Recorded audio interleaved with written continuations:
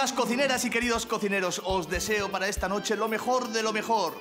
Capón, cordero asado, chipirones en su tinta, cocochas, cardo, turrón. Buena compañía, luz a vuestra mente, paz a vuestro corazón, daros abrazos, quereros, besaros. Y yo siempre estaré con vosotros, ya sabéis, a las 2 de la tarde todos los días. Ya me he puesto la patita y me voy a dormir. Salud.